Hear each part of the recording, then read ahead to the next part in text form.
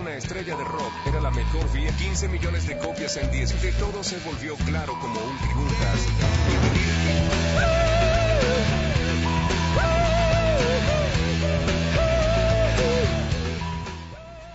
Bono es mucho más que una superestrella del rock. Es nada más ni nada menos que líder de una de las bandas más importantes de las últimas décadas, U2. Bono ha incursionado en el cine, la televisión y hasta en la moda. Por si fuera poco, es también uno de los más ávidos altruistas y ecologistas.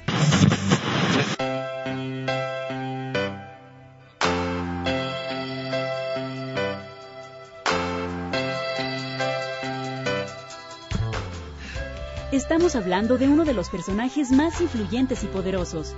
Bono, más que ninguna otra celebridad, ha utilizado su fama para cambiar la historia, no solo de la música, sino de la humanidad.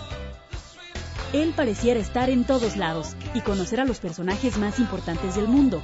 Lo vemos en un capítulo de Los Simpson, cantando con Mick Jagger o reuniéndose con líderes políticos de distintos rincones del planeta. México recibió por primera ocasión al cuarteto irlandés en 1992 con el interesantísimo performance Su TV. Cinco años después, el público azteca terminó pasmado con el Pop Mart Tour. Y tras ocho años de ausencia, YouTube regresó al país con vértigo y ahora con la gira 360 grados. Ambas montadas en el Estadio Azteca para los días 11, 14 y hoy 15 de mayo, considerado por ello como la gira más ambiciosa y sorprendente en sus tres décadas de trayectoria.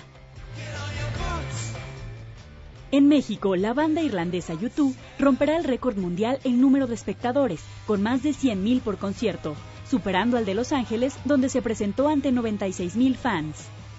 Cuando la gira termine, la habrán visto más de 7 millones de personas y el nivel de recaudación será tan grande que conquistarán un nuevo récord, al que tendrán que aspirar las futuras producciones. El ancho del escenario es de 80 metros y la altura de 50 a 52 metros aproximadamente. Cuenta con 180 toneladas de video y luz. La pantalla donde el público observará cada uno de los movimientos de la agrupación es la más grande que se ha construido para un concierto. Se necesitó de 90 camiones para transportar toda la producción. Recibido en México con auténtica aceptación, Bono celebró su cumpleaños número 51 y fue después del primer concierto que sus compañeros del grupo y una comitiva de 80 personas siguieron el festejo. En la calle se escuchaba la música de violines, guitarras y trompetas. Más tarde, al estilo mexicano y al son de Cielito Lindo, llegó el mariachi para entonar las mañanitas a coro.